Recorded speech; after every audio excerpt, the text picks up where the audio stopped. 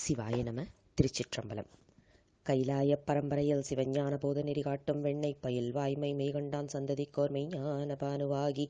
குயிலாரும் பொழில் திருவாவடுதுறை வாழ்குரு நமச்சிவாய தேவன் சைலாதி மரபுடையோன் திருமரபு நீடூழி தழைகமாதோர். சிற்றம்பலத்தான் திருத்தோழன் சுந்தரன். நற்றமிழ் மாலையணி நாவலூர் கொற்றவன். நம்பியாரூரன் பேர் நாம் ஒரு காலோதினால். தப்பிக்கும் தீவினைதான் சிவசிவ திருச்சிற்றம்பலம். ஒன்பதாம் திருமுறை தொடர் முற்றோதுதல் செய்து கொண்டிருக்கும் குழுமத்தில் இருக்கும் அனைத்து அடியார்களின் பொற்பாத கமலங்களையும் மனம் மொழி மெய்களால் வணங்கி மகிழ்கின்றேன். இன்று நாம் பார்க்க இருப்பது திருமாளிகை தேவர் அருளிச் செய்த திரு இசைப்பாவில் இருந்து நான்காவது பாடல். பெருமையில் சிறுமை பெண்ணொடு ஆணாய் என் பிறப்பு இறப்பு அறுத்த பேரொளியே கருமையின் வெளியே கயர் கண்ணாள் இமவான் மகள் உமையவள் களை கண்ணே. அருமையின் மறை நான்கு ஓலமிட்டு அறற்றும் அப்பனே அம்பலத்து அரசே ஒருமையில் பலபுக்கு உருவி நின்றாயை தொண்டனேன் உரைக்குமாறு உரையே. பெருமான் எப்படியெல்லாம் இருந்து நமக்கு அருள் செய்கின்றார் அப்படிங்கிற குறிப்பை இந்த பாடல் மிக அழகாக நமக்கு எடுத்து சொல்லுது. பெருமானின் சொரூப நிலையையும் தடத்த நிலையும் இந்த தன்மையன் என்று நாம புரிந்து கொள்ள முடியாத ஒரு நிலையையும் எடுத்துச் சொல்லும் ஒரு பாடல். பெருமையில் சிறுமை. பெரியதாக அதாவது நம்ம வடமொழியில வந்து விஸ்வரூபம் அப்படின்னு சொல்லுவோம் இல்லையா? விஸ்வரூபமாக இருக்கின்ற நம் பெருமான் அதே நேரத்துல மிக நுண்மையான பொருளாகவும் இருக்கின்றான். அதாவது மிக பெருசு. அதே நேரம் அந்த அணு அளவுக்குன்னு சொல்லுவோம் இல்லையா? மிகச்சிறியது. அந்த அளவுக்கும் இருக்கின்றான். அவனே பெண்ணோடு ஆணாகவும் இருக்கின்றான். பெண்ணாகவும் இருக்கின்றான் ஆணாகவும் இருக்கின்றான். என்னுடைய பிறப்பு இறப்பு என்ற இந்த சுழியில் இருந்து என்னை வெளியே கொண்டு வருகின்ற பேரொளியாகவும் இருக்கின்றான். கருமையில் வெளிச்சமாக இருக்கின்றான் ஒளியாக இருக்கின்றான். அழகிய உமையம்மைக்கு பற்றுக்கோடாக இருக்கின்றான். அவன் யார் அப்படின்னா மறைகள் எல்லாம் அற்புதமான மறைகள். அப்படிப்பட்ட மறைகள் ஓலமிட்டு அரற்றுதான். அப்பா உன்னை நான் பார்க்க முடியலையே அப்படின்னு அரற்றுகின்றதாம். யார் இப்படி இருக்கிறவர் அப்படின்னா எங்க அம்பலத்துல ஆடிக்கொண்டிருக்கின்ற அமுதம்பா அப்படின்னு சொல்லிட்டு எல்லாத்திலையும் கலந்து நிற்கின்ற ஒருவன்.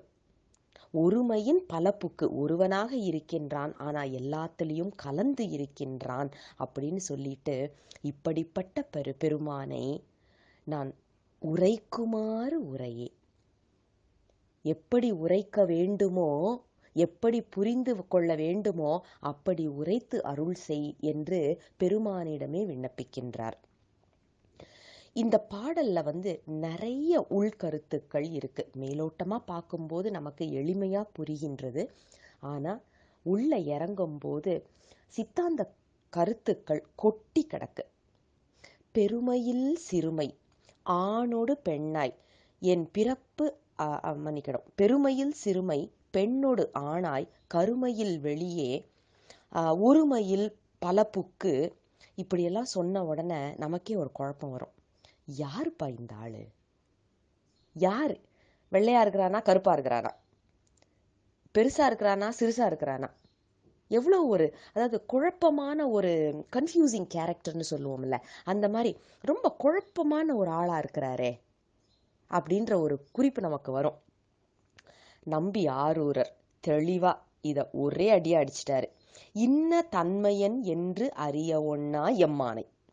ஏதாவது சொல்ல முடியும் நீங்க அவரை பத்தி? இப்படித்தான் அப்படின்னு ஒரு வரையறை போட்டு அவனை நிறுத்தவே முடியாது. பெருசா இருக்கிறான்ப்பா அப்படின்னா தமா தூண்டு வந்து நிக்கிறான். தாமா தூண்டுப்பா அப்படின்னா பெருசா வந்து நிக்கிறான். கருப்பா இருக்கிறான்னா வெள்ளையா இருந்து நிக்கிறான். வெள்ளையா இருக்கிறான்னா கருப்பா வந்து நிக்கிறான். இவனை என்னன்னு நம்ம சொல்றது. அப்படின்னுட்டு அழகாக எடுத்து சொல்லுகின்றார் இந்த பாடல்ல. கொஞ்சம் சற்று ஆழமா பார்ப்போம். பெருமையில் சிறுமை. இந்த அண்டங்கள் அனைத்தையும் தன்னுள் அடக்கி கொண்டு இருக்கும் அளவுக்கு பெருமை வாய்ந்தவன். அண்டங்கள்னு அவ்வளோ பெருசா? அப்படின்னா நம்ம திருவாசகத்துல திரு அண்ட பகுதியில சொல்லியாச்சு எப்படி ஒவ்வொரு நிமிஷத்துக்கும் இந்த அண்டம் உருவாகி கொண்டே இருக்கின்றது என்று. இன்னைக்கு சயின்ஸ் அதைத்தான் சொல்லுது. ஒவ்வொரு இடத்துலையும் யூனிவர்ஸ் உருவாகி கொண்டே இருக்கின்றது அப்படிங்கிறத இன்னைக்கு உள்ள சயின்டிஸ்ட் நமக்கு சொல்ற உண்மை. ஆனா நம்ம திருவாசகத்தில் திருவாசகத்துல அப்பவே அவ்வளவு அழகா அதை பாடிட்டாங்க. திராண்ட பகுதியில அதுக்கு சான்று இருக்கு. அதே நேரம் மிகச் சிறுமையாகவும் இருக்கின்றான். அப்படின்னா எல்லாத்துக்கும் அணுவுக்கு அணுவாக இருக்கின்றான் நம் பெருமான்னு சொல்றோம். அப்போ எவ்வளவு நுண்மை வாய்ந்தவனாக இருப்பான். சரி இவர் யாரு அப்படின்னா பெண்ணோடு ஆணாய். இதில் நாம் கொஞ்சம் யோசிக்கணும். ஏன் ஆணோடு பெண்ணாய் சொல்லலை அப்படின்னு சொல்லிட்டு. ஏன் அப்படின்னா இன்னைக்கு சயின்ஸ் நம்மளுக்கு சொல்றது ஆணுக்கும் பெண்ணுக்கும் வேறுபடுத்துகின்ற அந்த குரோமோசோம்னு சொல்றது எக்ஸ் எக்ஸ் எக்ஸ் ஒய் அப்படின்னு தான் சொல்லுவாங்க. ரெண்டு எக்ஸ் உள்ளது பெண் எக்ஸ் ஒய் உள்ளது ஆண். அப்ப ஆண் என்பது அங்கே தனியாக இல்லை. பெண்ணுடைய கூறுகள் நிறைந்தது தான் ஆண். முழுமையாக பெண் இருக்கின்றாள். அதுல கொஞ்சம் கலப்படம் வரும்போது தான் அங்க ஆண் தன்மை வருகின்றது. இன்னைக்கும் நம்ம அனைவரின் உடலிலும் பார்த்தால் இது வந்து தெள்ளத் தெளிவாக நமக்கு கொடுக்கப்பட்டிருக்கும் அறிவியல் உண்மை. நம்ம உடம்ப நம்ம எடுத்து பார்ப்போம். வலது காலுக்கும் இடது காலுக்கும் வித்தியாசம் இருக்கும். வலது கைக்கும் இடது கைக்கும் வித்தியாசம் இருக்கும். வலது தோலுக்கும் இடது தோலுக்கும் வித்தியாசம் இருக்கும். உடல் உறுப்புகள்லேயே வலது உறுப்புக்கும் இடது உறுப்புக்கும் வித்தியாசம் இருக்கும். அதனால தான் சொல்லுவாங்க பக்கவாதம் வந்ததுன்னா டாக்டர்ஸ் கிட்ட போனால் பக்கவாதம் வந்தவங்கள பார்த்தோன்னா அவங்க கேட்பாங்க ஆம்பளைங்களுக்கு இடது பக்கம் வரக்கூடாது மன்னிக்கணும். வலது பக்கம் வரக்கூடாது. வலது பக்கம் வந்தால் ரொம்ப கஷ்டம். இடது பக்கம் வந்தா காப்பாத்திரலாம் அப்படின்வாங்க. பெண்களுக்கு அதை நேரம் மாறா சொல்லுவாங்க. இந்த அறிவியல் உண்மையை நமக்கு எடுத்துச் சொல்லுவதுதான் அர்த்தநாரீஸ்வர வடிவம். சயின்ஸ் பாதி ஆண் பாதி பெண்ணுன்னு நாம சொல்றோமே அது எல்லாமே சயின்ஸ் இன்னைக்கு நம்ம உடம்புல இருக்கின்ற அறிவியல். அதனாலதான் பெண்ணோடு ஆணாய் அப்படின்னாரு. ஆணோடு பெண்ணாய்னு சொல்லியிருந்தாக்க அங்க அர்த்தமே மாறி போயிருந்திருக்கும். அறிவியலை கொண்டு வந்து நம்ம திருமுறைகளில் ஒவ்வொரு இடத்துலையும் கொட்டி வச்சிருக்கிறாங்க. நாம தான் வந்து மூட நம்பிக்கைன்னு நிறைய இடத்துல ஒதுக்கி வைக்கிற ஒரு சூழ்நிலை வந்துருச்சு. ஏன்னா இதை புரிஞ்சுக்கிற அளவுக்கு பெருமான் மறைத்து விட்டார். அதுவும் திரோதான சக்தி தான். அதுவும் அவனது அருள் தான். ஆக பெண்ணோடு ஆணாய் நிற்கின்றான். இவன் யார் என்றால் என் பிறப்பையும் இறப்பையும் அறுத்து அருள் செய்கின்ற பேரொளி. பேரொளி. அந்த ஒளியால மட்டும்தான் நம்மளுடைய பிறப்பையும் இறக்க இறப்பையும் அறுத்து எறிய முடியும். இந்த விஷய சைக்கிள்னு சொல்லுவோம்ல நம்ம இப்ப மாட்டிட்டு இருக்கிற சுழல் இதுல இருந்து நம்மளை வெளியில கொண்டு வர்றதுக்கு.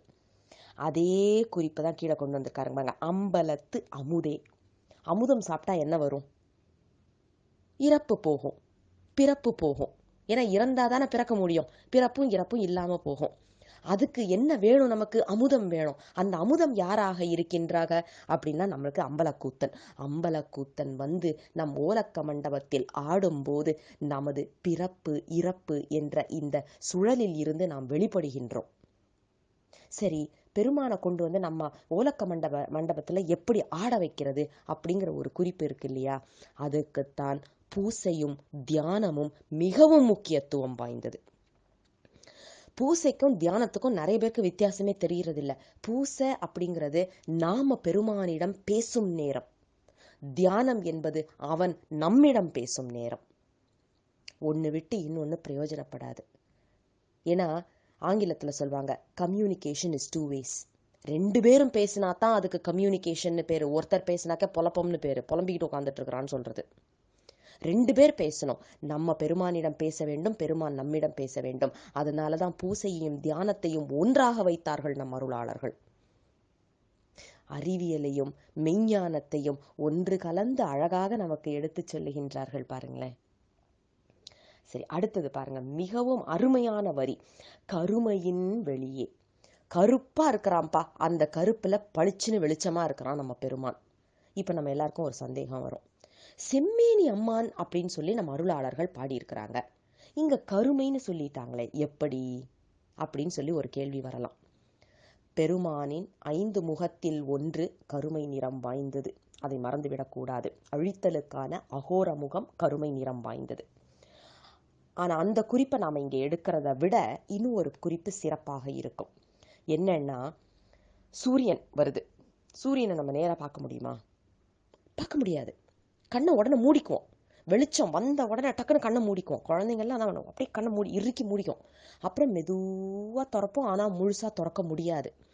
ஒரு சூரியனுக்கே அதுவும் சடமாக இருக்கக்கூடிய சூரியனுக்கே நாம கண்ணை மூடுறோம் அப்படின்னா ஆயிரம் கோடி சூரிய பிரகாசமாகிய சிவபெருமான் நம் முன்ன வந்தா நம்ம என்ன பண்ணுவோம்? டக்குன்னு கண்ணை மூடிக்குவோம். கண்ணு முன்ன என்ன வரும்? இருட்டு தான் வரும். பெருமான் அங்கே இருட்டில்ல. அவனை பார்க்க முடியாம நாம கண்ணை மூடுவதனால அங்கே கருமை நிறம் வருகின்றது. ஏன் அந்த கருமை நிறம்னா அவனது ஒளி தாங்க முடியாமல். அதனாலதான் கருமையின் வெளியே வெளிச்சமாக இருக்கின்றான். அந்த வெளிச்சம் தாங்க முடியாம நாம கண்ணை மூடுவதனால உள்ளுக்குள்ளால நாம அவனை அனுபவிக்கிறதுக்கு எத்தனிக்கும் போது நமக்கு கண் மூடப்படுகின்றது. அந்த நேரத்துல கருமைத்தான் நமக்கு கண்ணில் படுகின்றது. இதை சொல்லிட்டு அம்மையை உடனே வைத்திருக்கின்றான். உமா மகேஸ்வர வடிவத்தை அழகாக சொல்லுகின்றார். அர்த்தநாரீஸ்வரத்தை வடிவத்தை சொல்லிட்டு உமா மகேஸ்வர வடிவத்தையும் சொல்றாரு. பெருமான் அம்மையை பக்கத்திலேயே வச்சிருக்கான். அம்மைக்கு பற்றுக்கோடா இருக்கிறான்ப்பா. ஒரு ஆண் மகனுக்கு என்ன வேணும் அப்படின்னா என்ன தகுதி அப்படின்னா தன்னை நாடி வந்த பெண்ணை பற்றுக்கோடாக வைத்துக் கொள்ளுவது. தான் வந்து ஒரு பற்றுக்கொடா கொடுத்து தன்னோடையே பாதுகாப்பாக வ- பாதுகாப்பாக வைத்துக் கொள்ளுவது. இதை தான் எங்க பெருமான் செய்கிறான் அப்படின்னு. இதுல ஆண் யார் பெண் யார் என்றால் பெண் என்பது நாம். நம்ம எல்லாருமே தான் இங்க பெண்கள். இது உடல் வந்து ஆண் பெண்ணுன்னு இருக்கலாம். அந்த இந்த ஆன்மா என்பது பெண். நாம் எல்லாரும் பெருமானை நோக்கி வணங்கும் போது நமது நம்மை ஏற்றுக்கொள்ள வந்த ஆடவர் நம்ம சிவபெருமான் மட்டும்தான். அப்படிங்கிற எண்ணத்தோட வழிபட வேண்டும். அடுத்தது பாருங்க. அருமையின் மறை நான்கு ஓலமிட்டரற்றும் அப்பனே. மறைகள் என்று சொல்லப்படுவது வேதங்கள். வேதங்களுடைய ஆஹ், வேதங்கள் எல்லாம் வந்து அப்பா அப்படின்னு ஓலமிட்டு நம்ம திருவாசகத்துல வந்து ஐயா என ஓங்கி. அதே மாதிரிதான். ஓலமிட்டு அரற்றுகின்றதான் பெருமானை பார்க்கணும் பெருமானை பார்க்கணும் பெருமானை பார்க்கணும் அப்படின்னு. ஏன் அப்படின்னா வேதங்கள் என்பது பெருமானை அடைகின்ற வழிதான். பெருமானை அடையதுக்கு முடியாது. ஆனா அந்த வழியில நாம் சென்றே ஆக வேண்டும். நெஞ்சு விட தூது படிக்கும்போது நம்ம எல்லாருக்கும் தெரியும். நாம எந்தெந்த வழியெல்லாம் கடந்து வந்திருக்கின்றோம் என்ற வேத முறைப்படி நின்று தான் நாம் சித்தாந்தத்துக்குள்ள வந்திருக்கிறோம். வேதாந்தத்துல இல்லாம சித்தாந்தத்துல வந்திருக்க முடியாது. ஆக நாம ஒரு காலத்துல வேதாந்தத்துல இருக்கும்போது இதே மாதிரி தான் எப்பவாச்சும் நான் உங்ககிட்ட வருவேனா சாமி? அப்படின்னு சொல்லி ஏக்கத்தோடையே நின்று வழிபட்டு இருக்கின்றோம் அந்த வழிபட்ட காரணத்தினாலதான் நமக்கு இன்னைக்கு சித்தாந்த நெறியில கொண்டு வந்து பெருமான் நிறுத்தி இருக்கிறாரு இவன் யார் என்றால் அம்பலத்தில் அழகாக ஆடிக்கொண்டிருக்கும் அமுதம். அமுதம். அமுதத்தை ருசிச்சு தான் பார்க்க முடியும். இப்படித்தான் இருக்கும்னு சொல்ல முடியுமா? சொல்ல முடியாது. இது அனுபவ நிலை. ஆக அறிவு நிலையை நமக்கு கொண்டு வந்த ஆசிரியர் அன்பு நிலையையும் கொண்டு வந்த ஆசிரியர் அனுபவ நிலையையும் கொண்டு வந்து இங்க காமிக்கிறாரு. இந்த பாடல்ல பாருங்க அறிவு நிலை அன்பு நிலை ஆஹ், அதே நேரம் அனுபவ நிலை மூணையுமே நமக்கு கொண்டு வந்து ஒரே பாடல்ல நான்கே வரியில கொடுத்துட்டாரு. நச்சுன்னு ஒருமையில் பல புக்கு ஒத்தையா இருக்கிறான்ப்பா ஒரே ஆள். ஆனா இங்க பார்த்தா இருக்கிறான் அங்க பார்த்தா இருக்கிறான் இங்க பார்த்தா இருக்கிறான் இங்க பார்த்தா இருக்கிறான். இதுக்கு ரொம்ப ருசியான ஒரு ஒரு இன்சிடென்ட் ஒரு ஒரு தகவல். நம்ம கழறிற்று அறிவார். நம்ம எல்லாருக்கும் தெரியும் சேரமான் பெருமாள் நாயனார். தினமும் பூசை செய்யற நேரம் அவர் தியானத்துல பெருமானுடைய திருச்சிலம்போசை கேட்குமா ஒரு நாள் வந்து திருச்சிலம்போசை கேட்கலை. கேட்கலன்ன உடனே அவர் என்ன நினைச்சிட்டாரு? நாம செய்த பூசையில தான் ஏதோ குறை இருக்கு போல இருக்கு. அதுக்கப்புறம் நாம வாழக்கூடாதுன்னு சொல்லி தன்னைத்தானே மாய்த்துக்க போகின்றார். மிகப்பெரிய அடியார் அவர். மிகப்பெரிய அடியார். பதினொன்றாம் திருமுறையில முதல் பாசுரம் வந்து பெருமான் சேரமான் பெருமான் நாயனாருக்கு தான் எழுதுறாரு. அப்படிப்பட்ட வல்லமை உடையவர் தன்னுடைய பூசையில குறை இருக்குன்னு தன்னை மாய்த்து கொள்ள போகின்றார். அப்போ வேக வேகமா திருச்சிலம்போசை கேட்கலாம் பெருமான் ஓடி வர்றாராம். ஏன்னா ஓடி வரும்போது ஒரு சிலம்போசை கேட்கும்ல அந்த மாதிரி வர்றாராம்.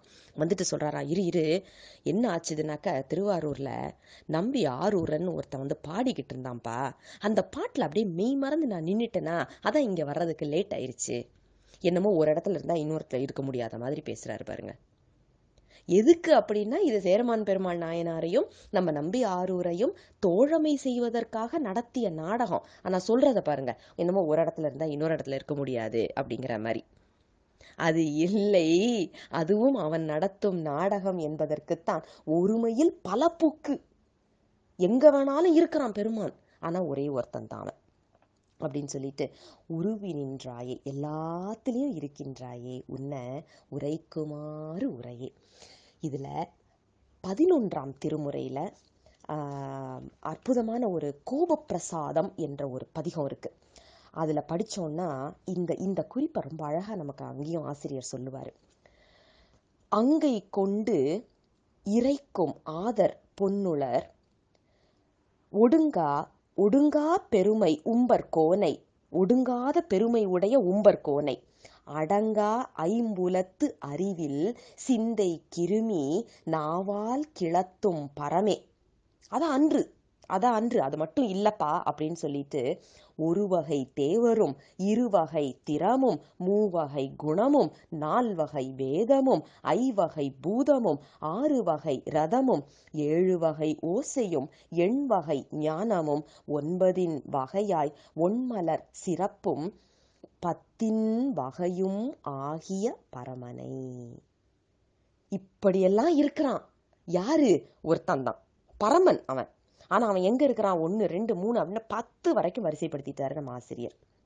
இப்படிப்பட்ட இன்பனை நினைவோர்க்கு என்னிடை அமுதினை அப்படின்னு அழகா அது ஒரு நீண்ட பா பதிகம் தான் ஆனா ரொம்ப அழகாக இந்த இந்த பெருமானுடைய எல்லா இடத்துலையும் விரவி இருக்கின்ற தன்மையை நமக்கு இன்னொரு பாடல்ல இருந்தும் பதினொன்றாம் திருமுறையில பார்க்கறதுக்கு வாய்ப்பு கொடுக்கிறாரு சாமி. ஆக இன்றைய பாடல் அற்புதமான பெருமான் இன்ன தன்மையன் என்று நாம புரிந்து கொள்ள முடியாத அந்த தன்மையாளனாக இருக்கின்றான்ங்கிற குறிப்பை மிக அழகாக நமக்கு எடுத்துச் சொல்லுகின்றார். பெருமானின் பெருங்கருணை துணை நிற்க அடிநாயேனும் இன்று இந்த பாடலை சிந்தித்து அருள் செய்வதற்கு அவரது பெருங்கருணை துணை நின்றது. தென்னாடுடைய சிவனே போற்றி எந்நாட்டவர்க்கும் இறைவா போற்றி. சிவசிவ திருச்சிற்றம்பலம்.